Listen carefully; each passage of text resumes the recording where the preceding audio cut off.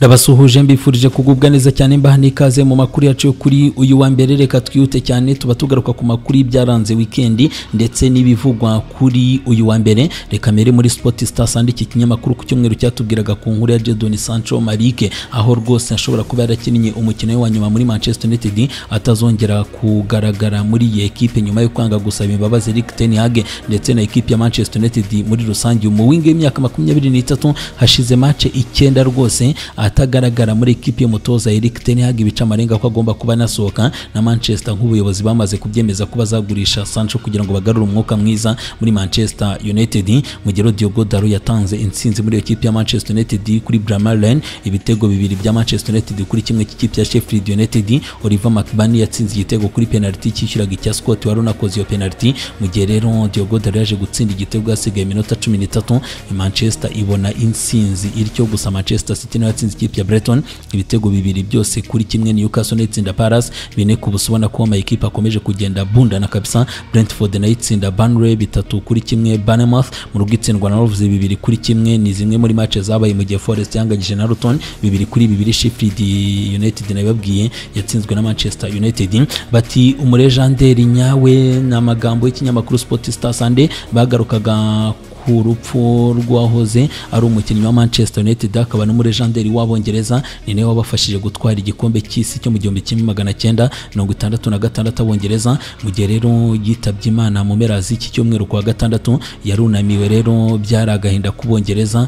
nyuma yo kubura uwitwa Sir Bobby Charlton mu gihe rero yunamirwaga hariya i Manchester n'isi yose yari irimo yibuka uyu mugabo wakinnye umupira w'amaguru ku rwego rudasanzwe wari uyoboye uyoboye umuhango wo kumwibuka yitwa Sir Geoff Hurst banatwaranye igikombe cy'isi muri mirongo itandatu na gatandatu. Ikinyamakuru The Sun on Sunday Bex Beckham avuga ati rwose twihanganishe umuryango wa legendary nyawe Sir Bobby Charlton. Atuyu afite byinshi cyane avuze mu mupira w'amaguru ku isi. Beckham avuga ati isi yose ibuze intwari y'umupira w'amaguru nk'uko The Sun yabigarukagaho ku cyumweru. Ikinyamakuru Sunday Express na cyo kivuga kiti isi yose umupira w'amaguru uri kunamira Sir Bobby Charlton ni agahinda kuri uyu murejanderi witahiye nk'uko ikinyamakuru Sunday Express cyagendaga kibigarukaho. Sir Geoff Hurst ati tubuze umugabo w'ingenzi. Ati ntazigera yibagirana yaba kuri nge ku mupira w'amaguru w'abongereza ndetse n'isi muri rusange. Ati mbuze umukorege wanjye mbuze inshuti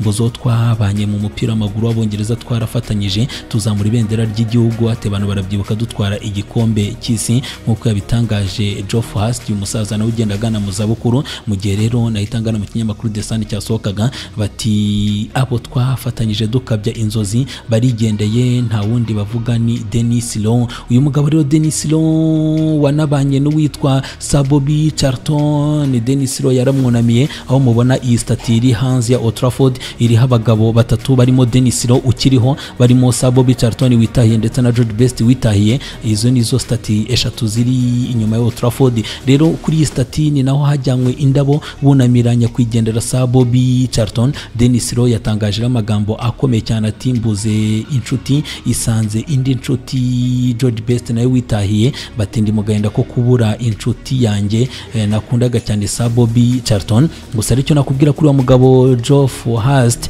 wayoboye umuhango wo kunamira Sir Bobby Charlton.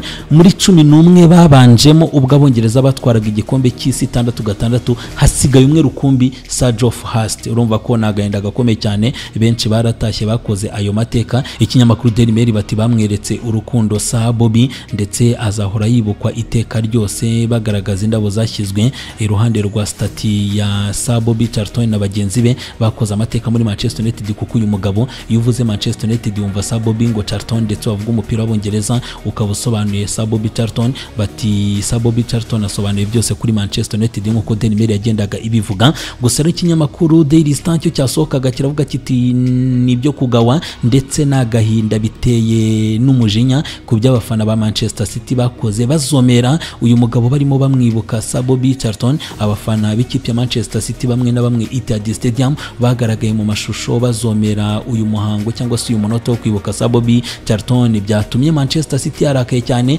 bagiye gukoresha amavideo bareba abo bantu aba ari bo ubundi bahite bahagarikwa ubuzima bwose batagaragara Etihad Stadium. Ndetse ikinyamakuru Daily Express ati ni gute ibintu nk'ibi byakorwa? Ntago babyumva. Habe namba Manchester City yarakaye mu buryo budasanzwe. Mu gihe ikinyamakuru Daily Mirror kivuga kiti rwose City yarakariye byimazeyo abazomereye abavugije induru. Ati baraza guhanwa ku buryo bibera isomo buri wese kuko n'abongereza muri rusange bababajwe n'iki gikorwa cy'abafana b'ikipe ya Manchester City. The Telegraph yabigarukagaho ndetse n'umutoza Pep Guardiola byamurakaje cyane mu buryo budasanzwe. Yavuze ko hagomba gufatwa umwanzuro ukakaye kuri aba ngaba na byo ikinyamakuru iSport cyagarukagaho. iSport natubwira yuko tayari kabisa Vilani yageze mu ba contender yaba ba Big Four ndetse ngo yegereye ama ekipe ari kuri top ku nyuma yo gutsinda ikipe ya West Ham ibitego byose bine kuri kimwe ikipe ya Aston Villa yamaze kwegera ama ekipe ari imbere kuko City irayirusha abiri yonyine. Urumva ko na yo yegereye izindi ekipe zikomeye. Mu gihe rero nahita ngaruka gato mu kinyamakuru Daily Star aho Ibrahima Konate Ibu ngo yagize amahirwe yagombaga kubona ikarita itukura muri Masai Dabi kuko muri Masai Dabi yakoreye ikosa uwitwa Beto. Anafite ikarita y'umuhondo ku buryo umusifuzi aza kumuha indi karita ya kabiri y'umuhondo ari kubona itukura Craig Payson yarabyihoreye atanga free kick yonyine. Van Dijk Virgil ukinana na Ibrahima Konate yavuze ati Ibrahima Konate ni umunyamahirwe bidasanzwe kuko yagombaga kubona indi karita y'umuhondo ati iyo biramuka bibaye. Umusifuzi nashyiremo kumwihanangiriza byari kuba ari bibi ku ikipe ngo ya Liverpool ntiyari kubona intsinzi mu buryo bworoshye. Mu gihe rero ikinyamakuru Daily Star banatubwiraga ko umutoza Eric Ten Hag yishimiye uburyo Maguire yitwaye kuri match ya Brentford. Ati Maguire yagaragaje performance zidasanzwe. Ati dushaka um, hari Maguire Jacob ukina kuriya. Ati uriya ni we Maguire ubundi wa nyawe ugomba kutwiyereka muri buriya buryo. Reka nerekeze mu tundi dukuru. Jamal Musiala Manchester City yamaze kumwerekezaho amaso nubwo Thomas Tuchel bitoroshye ko yamurekura ariko yagiye atamubanzamo rimwe rimwe akabanzamo Thomas Müller. Nubwo byavuzwe ko Liverpool na yo iri gukurikirana situation y'uwitwa Jamal Musiala Manchester City Pep Guardiola yamaze kuba ateramo mu gihe Juventus de Tiretari Manuel Locatelli nyuma yo kuba kurasanisira akabatsindira igitego tuza kugarukaho nawe agiye kongererwa amasezerano mu ikipe ya Juve mu gihe rero Steven Gerrard muri El Ittifaq arashaka kujyanayo Dominic Calvert-Lewin mu kwa mbere ruteza mu ikipe ya Everton nk'uko Sun bitubwira Steve G arashaka kumujyana. Yitwa nde? Dani Ceballos mu kwezi kwa mbere ikipe ya Newcastle yamaze gusaba Real ko yamutwara nk'uko Fitches ibitubwira akajya gusimbura Sandro Tonali. Ushaka guhagarikwa kubera ibibazo bya betting mu gihe rero nahita nerekeza ahandi. Girona uyu mukinnyi wabo w'umuhanga cyane witwa Savinho. Ikipe ya Manchester City yamaze kumwerekezaho amaso nubwo na yo yanze kugira icyo atangaza ngo yishimiye kuba mu ikipe ya Girona ariko ivuga ko rwose proje ya City atayitera umugongo ngo umunsi umwe ashobora kuzayikina dore ko City ishaka uyu rutayizamu Savinho w'ikipe ya Girona w'umuhanga cyane mu gihe rero yitwa Trevor Sharobatomi ikipe ya Juve yamaze kuba igera muri deal irashaka kumutwara mu kwa mbere gusa umuhanganiye na Bayern Munich na Inter de Milan nk'uko ivi bitubwira ikipe ya Juve iramushaka. Mu gihe nahita nerekeza ahandi rero nuko uwitwa Jadon Sancho Marike kandi ikipe ya Juve ngo iramushaka ngo iramutse imubonye ikabona n'uwitwa Kefren Turam Juve yabihashye neza cyane nk'uko bagenda babitubwira. Mu gihe rero nahita nerekeza ahandi tayari yitwa Tata Martino yiteguye kabisa gukomeza gutoza ekipe ya Inter Miami ngo agiye kubaka proje iremereye ku buryo Messi bagumana mu ikipe ya Inter Miami kandi bakazubaka ekipe ihatana ndetse itanga ibyishimo nkiri mu ikipe ya Inter Miami witwa Joseph Martinez rutayizamu mubona w'amatentire y'umweru ashobora gutandukana n'ikipe ya Inter Miami ku buryo ahita asimbuzwa Luis Suarez Diaz nk'uko bagenda babitubwira. Calvin Phillips nawe nyuma yo kuvugwa mu makipe ajya atandukanye nawe nyuma yo gusaba City kuyamurekura akigendera. City yamubwiye ko ritayari kumurekura icyo asabwa ni ukuzana ekipe itanga agafaranga gatubutse. Graham Potter rero tayari ashobora kujoininga Manchester United mu gihe witwa Sir Jim Ratcliffe yafata ekipe director wa sport muri Ineos Field y'umugabo Sir Jim Ratcliffe uyu director ngo akunda cyane Graham Potter yitwa Sadev ngo ashaka kwita azana Graham Potter bakamusimbuza Eric Ten Hag nibiramuka byanze. Mauricio Pochettino yashyizwe mu biganza bye controle zose kuri transfer z'ikipe ya Chelsea yaba abakinnyi baza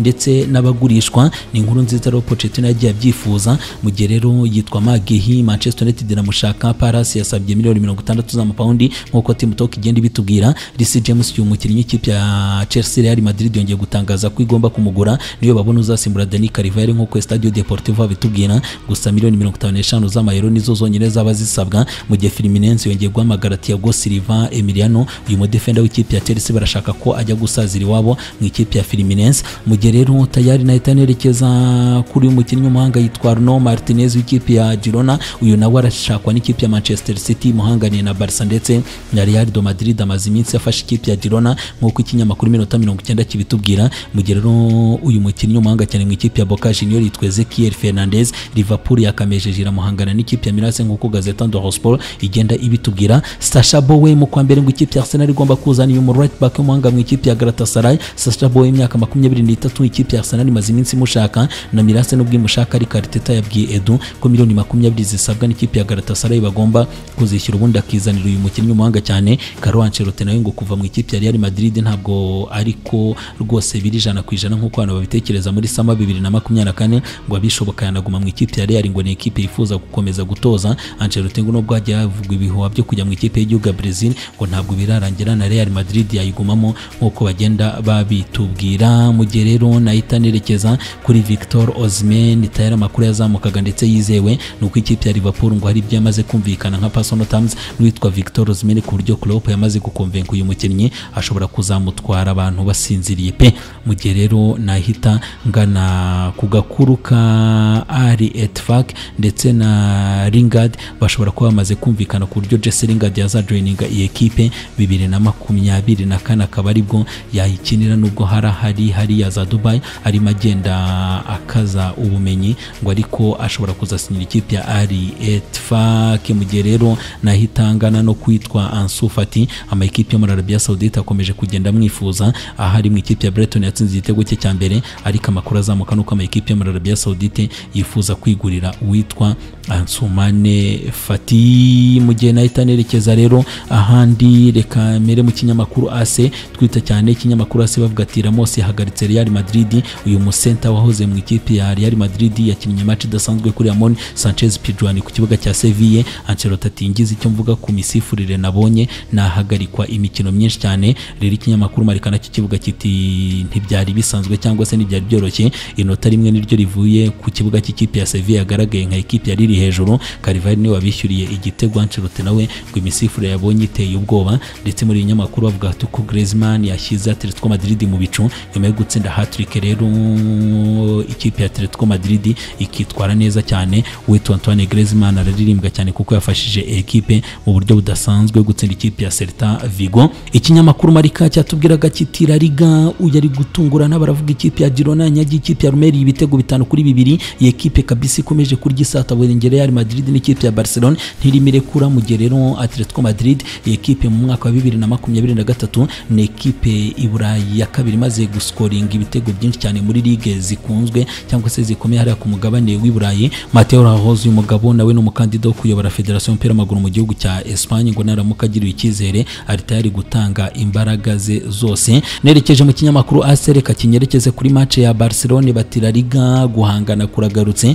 Barcelona nyuma yo kubona intsinzi y'igitego kimwe cyonyine cy'uyu mwana Marc Guiu winjiye mu kibuga nyuma y'amasegonda makumyabiri n'atatu agatsinda igitego. Nyuma rero yo gukina umukino wa mbere muri Barcelona Xavi ati uyu mwana yanshimishije atwinjije muri Clasico mu buryo budasanzwe. Ndetse ikindi wamenye ubwo ni Real Madrid ekipe ya Barcelona na Girona. Yewe ikipe ya Atletico Madrid na yo iri inyuma ho gato amanota atatu. Ntabwo ari menshi cyane ubona ko gukubana kwagarutse kuri La Liga niyo mpamvu ikinyamakuru AS kivuga kiti La Liga no gukubana bitoroshye. Mu gihe nahita nerekeza rero ku kinyamakuru Sport hariya i Katarunya bati ibirori bidasanzwe kuri uyu mwana w'imyaka cumi n'irindwi waje gutsinda igitego nyuma y'amasegonda mirongo itatu n'atatu ageze mu kibuga Xavi ati reka nsobanure ibyabaye biratangaje ati uyu mwana twavuganye. Andebye mu maso arambwiye ati nshyiramo kandi ndi tayari. Ati rero yahise abinyereka mu kibuga nyuma y'amasegonda makumyabiri n'atatu yonyine. Ni na byo mu kinyamakuru Mundo barimo bagarukaho bati Clasico bayinjiyemo bashobora guhita bayobora urutonde rwa shampiyona nibaramuka bayitsinze. Mu gihe bavuga ati uyu mwana yitwaye neza yagaragaje ko uh, akademi ya Barcelona La Masia igifitemo intwaro zo kwizerwa. Super Deport itubwira ko match ikipe ya Valence ndetse n'ikipe ya Cadiz kuri Mestara ntabwo iza korohera ikipe ya Valence kubera ibibazo by'imvune ku bakinnyi b'ikipe ya Valence bihari. Ikinyamakuru Gazeta cyo cyatubwiraga kuri atatu aryoshye ikipe ya Inter de Milan Inter yatsinze ikipe ya Torino ibitego bitatu ku busa. Rero ngo Lautaro Martinez ndetse na Marcus Thuram ni ni diwo imeze neza cyane batanze ibyishimo bidasanzwe dore ko aba bakinnyi baremere cyane. Tiram ukomeje kwerekana ko ari umukinnyi wo kwizerwa gusa ikipe ya Torino yabanje gukina igice cya mbere cyiza gusa nyuma y'imvune y'umudefanseri Pierre Schuze byaje kuba bibi cyane rero ibitego babimishamo iyi diwo yaba Marcus Thuram na Lautaro Martinez amaze gutsinda ibitego cumi na bitandatu hagati yabo mu mikino cumi n'umwe yonyine. Njye nahita nerekeza rero ku yindi gazeta Ndo Sport yo yatubwiraga nanone kuri Inzaghi ngo yamaze kurema bombe izakora amateka. Iyo bombe ni Lautaro Martinez. Imibare iragaragaza ko mu minota mirongo irindwi n'itanu byibuze ashobora kugutsindira igitego ngo ari kuri level ya Haaland ndetse na Kylian Mbappe Rotin iyo gazeta yanatubwiraga ko Juve kabisa byari ibyishimo itsinda ikipe ya AS Milan. Igitego kimwe ku busa nyuma y'ikarita itukura ya Malik Thion byahise bikurikirwa na rocket nziza cyane ya Locatelli yaze gutera. Mu gihe Allegri ati ntabwo nanyuzwe ntabwo nishimiye resultat kuko twagombaga kubona byinshi birenze kimwe. Pioli ati amakosa gati yakoze na yo yashoboraga kumuviramo ikarita ariko umusifuzi arabyirengagiza mu gihe ikinyamakuru Tutton Sport cyavugaga kiti viva Juve ndetse viva Locatelli. Wabafashije kabisa gukabya inzozi zo inyuma yo kwiruka inyuma y'igikombe cya shampiyona Scudetto bamaze iminsi bifuza. Gusa ari cyo wamenya Moise Kean ni we waprovotse Malik Thion amuhesha ikarita itukura. Mu gihe ngo Krunic nawe ashoboraga kubona indi karita itukura ariko umusifuzi arabyirengagiza mu gihe bavuga ati Hussein uyu mwana wabanje w'umukino we wa mbere mu ikipe ya Juve. Allegri rero ngo ntabwo igeze anyurwa. Kuko yavuze ati ko twakinnye igice cya mbere siko twakinnye icya kabiri. Twagombaga kubona ibitego birenze ukwemera igice cya kabiri twakinnye nabi. Mu gihe rero ikinyamakuru Corriere dello Sport ati Allegri nawe yinjiye ngo yinjiye mu rugamba rw'igikombe cya shampiyona. Mira yamwirukanye nabi yaje kubereka ko ari umukinnyi nako ko ari umutoza uremereye cyane. Nyuma y'imyaka irindwi Juve idatsindira Mirase iwayo. Mu gihe Bianconeri yaje kuba ibigeraho Juve iratsinda. Mu gihe Allegri bamubajije niba uyu mukino usobanuye ko Scudetto bazayitwara yavuze ati oya kuko haracyari urugendo rurerure cyane. Mu maguru y'ikinyamakuru Corriere bati El Shaarawy yanejeje nyo cyane igitego cyo ku minota mirongo icyenda ndetse ngo cyahaye intsinzi. Ikipe ya Roma iri farawone nk'uko El Shaarawy bamwita ngo niwe watanze intsinzi gusa Lukaku na Serdar Azmoun. Bakinnye match zidasanzwe bahusha ibitego bidahushwa mu gihe rero bahita banatubwira mu kinyamakuru Romanista bati igitego gihebuje cy'uwitwa Stephen sharawi ku minota mirongo icyenda cyakurikiraga uburyo baruka ko na ba Serdar Azmoun bahushije byatumye ikipe ya Roma ibona intsinzi. Baserebura imyaka mirongo itanu y'isabukuru ya Bruno Conti. Ngo byari ibyishimo bidasanzwe rero bari gutegura match ya Slavia Prague muri Europa mu minsi igera muri itatu. Ngo nabwo muzitware neza cyane nk'uko iri Romanista igenda ibyemeza. Mu gihe nahita njya nanone kwitwaza Nioro mu kinyamakuru Corriere bateza Nioro yagaragaye muri match ikipe ya Aston Villa. Mu gihe Tonali we atigeze agaragara muri match ikipe ya Newcastle binitezwe ko Sandro Tonali ashobora kuba yahagarikwa amezi cumi n'abiri adakina umupira w'amaguru kubera ibibazo bya betingi n'andi amezi atandatu asubitswe. Mu gihe rero mu kinyamakuru Abora batizi n'intwari z'igikombe cy'igihugu icyo bavuga ni iki? Muri raundi ya mbere y'igikombe cy'igihugu mu gihugu cya Portugal amakipe icyenda yo mu byiciro byo hasi bitazwi yasezereye amakipe icyenda yo mu cyiciro cya mbere. Urumva ko byari ibitangaza hariya. Mu gihe none njya mu kinyamakuru ariko datubwira ko Geni uyu mukinnyi ikipe ya Sporting ari kuganira na ekipe kugira ngo yongererwe amasezerano ku buryo muri iki cyumweru biraza kurangira bigeze ku kigero cya mirongo irindwi na gatanu ku ijana. Ikindi Ivan Freseneda umu agent wati abafana mu ikipe ya Sporting imwicika intege atuye umukinnyi nubwo ataratanga umusaruro ariko azabereka football y'akatangaza. Mu gihe Just nawe ati nagarutse mu kibuga kubera ikibazo cy'imvune umwaka ushize ntabwo wagenze neza atari ku yungu nifuza kuzagenda uzagenda neza cyane. Roger Schmid umutoza ikipe ya Benfica mu kinyamakuru ariko dibati ndi gushaka uburyo negura atake yanjye neza cyane kugira ngo azitware neza muri match ya Real Sociedad. Dore ko ikipe ya Benfica itorohewe mu itsinda irimo match esheshatu zeruka ngo nabwo abataka bitwaye neza niyo mpamvu agomba gukora atake ye ku buryo igomba guhanga muri ikipe ya Real Sociedad bagashaka uburyo babona na atatu ya mbere ku munsi wa gatatu wa Champions League dore ko batarabona amanota atatu nk'uko babitangaza. Mu gihe mu kinyamakuru Jogo batubwiraga ari naho nsoreza ku mutoza Sergio Conceição yibukijwe n'abahoze bakinana nawe Igor Carmano ndetse Igor Carmano Camargo nibagiwe na Wemberto aba bagabo bibukije uwitwa Sergio Conceição bakinanye mu ikipe ya Porto none Sergio Conceição n'umutoza w'ikipe ya Porto bati inshuti yacu witegure neza unitondere Royal Antwerp mu gihugu cy'Ubirigi. Ati ni ekipe itazoroha ariko Porto ifite tara zidasanzwe ifite ubushobozi bwo kuba yabona intsinzi mu gihugu cy'Ubirigi ariko birasaba kwitonda. Abagabo bati dukunda umupira w'amaguru kandi dukunda Porto niyo mpamvu tugomba kuyigira inama cyangwa se kuyiba hafi aho biri ngombwa. Nerekeje mu kinyamakuru kinyamakuru ekipe baratubwira ku nsinzwi y'ikipe ya olympique de marseille itsindwa n'ikipe ya nice igitego kimwe ku busa bikomeje kuba ku ikipe ya olympique de marseille. Yanatsinzwe rero n'ikipe ya nice aba baniswa muri derby mediterranean baje kuba bagarika marseille nice ikomeza guhagarara bwuma mu gihe paris saint germain ikomeje kurwana no kuyobora urutonde rwa shampiyona yo yatsinze strasbourg mu buryo bworoshye cyane indi ekipe bati iriyo igayitse cyane imikino icyenda ntibarabona amanota atatu. Noneho bageze no ku mwanya wa nyuma ku rutonde rwa shampiyona abayobozi bayo ngo nabo kwibazwaho. Monaco yikomeje kuba imbere dore ko ifite tara zidasanzwe. Alexander golovin yatsinze double ibitego bibiri byafashije monaco gutsinda metse bibiri kuri kimwe. Dore igitego kidasanzwe nubwo metse yatsinzwe ariko ramine kamara uyu munyasenegali bavuze ko yatsinze igitego mu buryo bwa ba messi. Yaje kureponda neza ariko nubwo intsinzi itabonetse ku ikipe ya metse ariko uyu munyasenegali mwabana mwe yatsinze igitego muri metero mirongo itanu n'umunani. Byari ibishoka bisa kuri uyu mukinnyi